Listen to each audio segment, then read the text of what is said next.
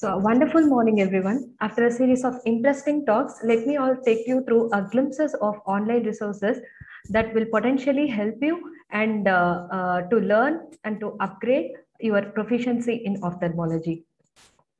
So first, I would like to disclose that I have no financial interest in any of the resources that I have discussed, discussed here.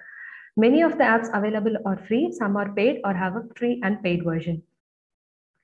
Ophthalmology residency program has gone through a paradigm shift over the years with respect to clinical acumen, surgical skills, and exam patterns.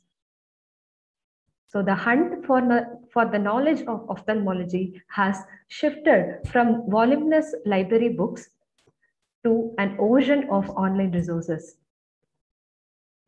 As Charles Darwin rightly said, it is not the strongest or the most intelligent who will survive, but those who can best manage change.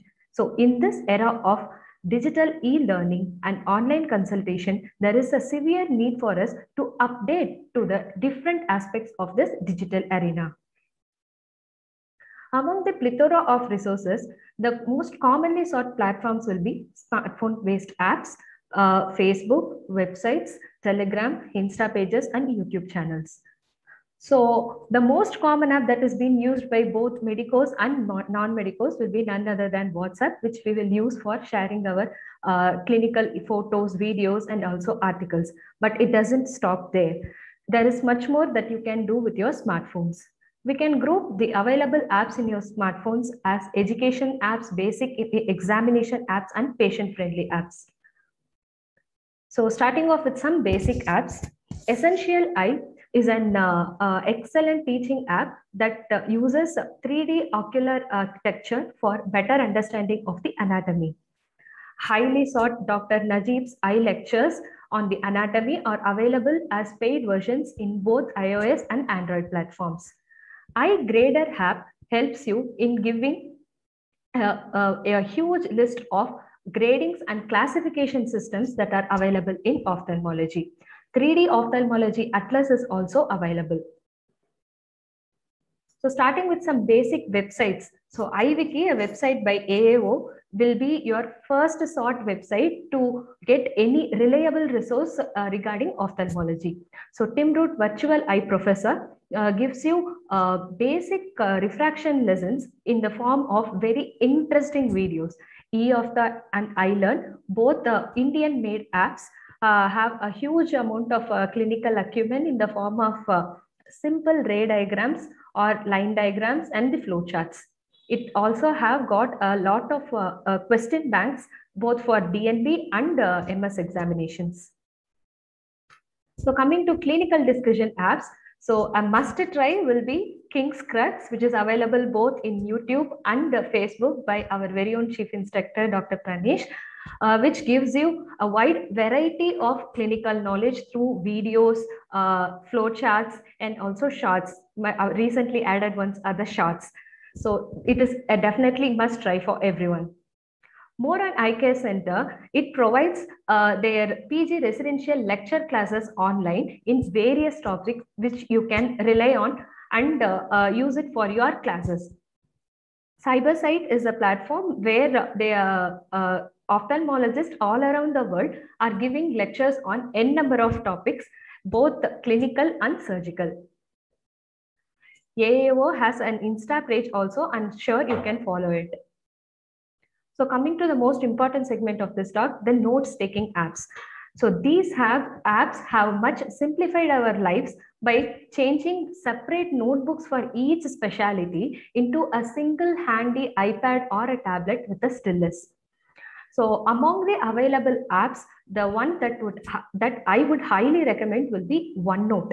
So this is uh, available for free in both Apple and Android, uh, which is usually connected to a Microsoft account.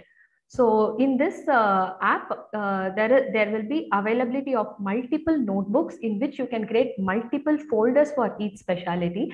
And this allows you to uh, write, draw, and to copy or cut and paste from a PDF or a PowerPoint and make a compiled, sophisticated notebook for your own.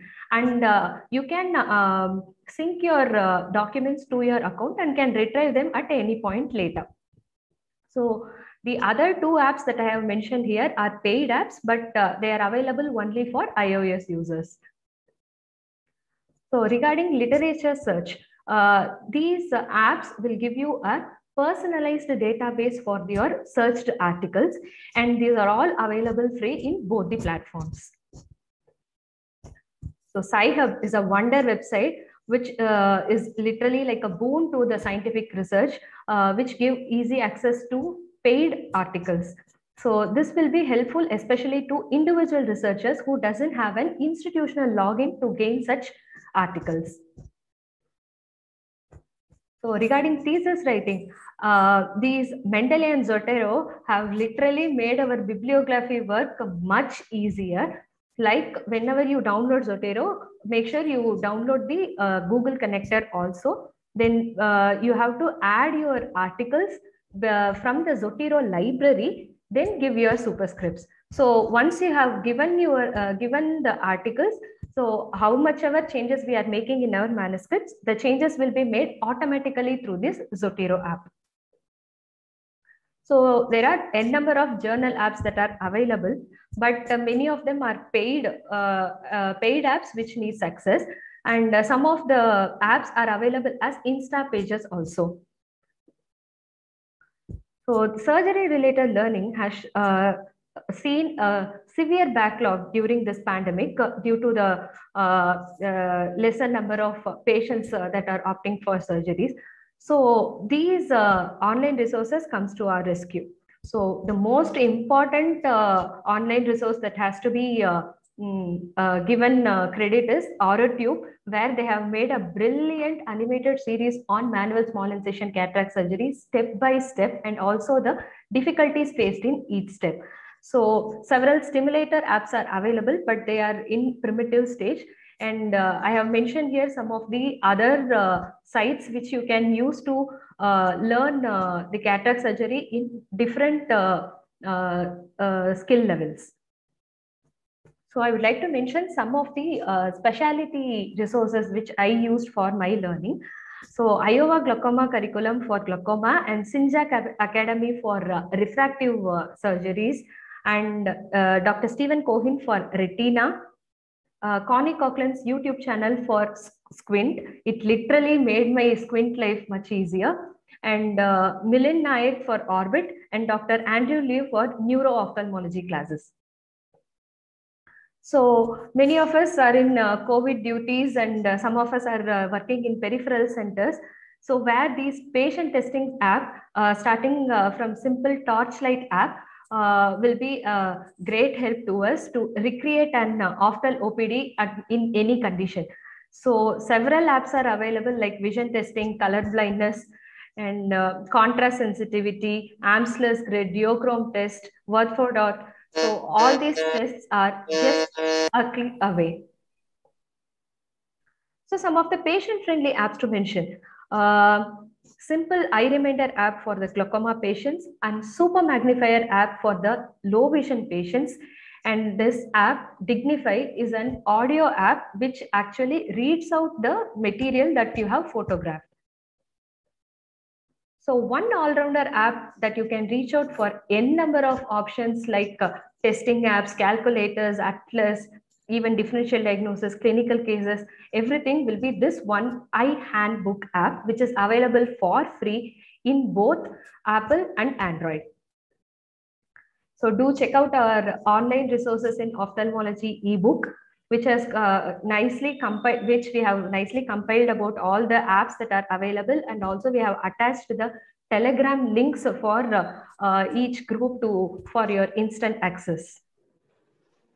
So to conclude, uh, being a tech-savvy resident helps you to discover globally and to know the perspective of others and to explore and experiment many things.